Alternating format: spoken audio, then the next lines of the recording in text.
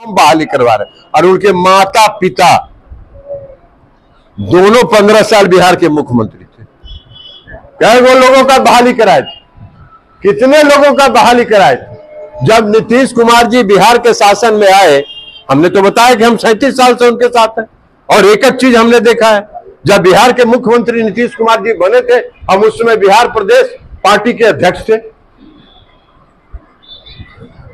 Bihar police में औसत आयु सैंतीस वर्ष था। सैंतीस साल का बिहार पुलिस का औसत आयु था।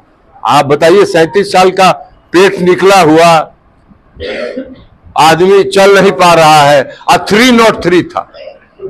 आज जितने बिहार में अपराधी थे, उनके पास इंसास ए के फोर्टी सेवन था। तो बिहार पुलिस का वो सिपाही। थ्री नॉट थ्री लोडे करते करते तक एक वन एक सौ ए के फोर्टी सेवन उस पर चल जाता था।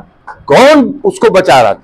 नीतीश कुमार जी ने जब शासन में आए तो उन्होंने कहा कि भाई सिपाही में और पुलिस में तो भर्ती करने में टाइम लगेगा। नीतीश कुमार जी ने कहा कि सेना के जो जवान रिटायर किए हैं, सबका भर्ती करिए और दस हज़ार साहब बनाया उन्होंने सेना के रिटायर्ड लोगों को और जो ए के फोर्टी सेवन इंसास गोदाम में पड़ा हुआ था, लालू जी के और राबड़ी जी के राज में, उसको निकाल के सैप के जवानों को दिया और कहा कि सड़क पर निकलो और जो गुंडा है, उसको ठंडा कर दो। ये परिवर्तन करके नीतीश कुमार जी ने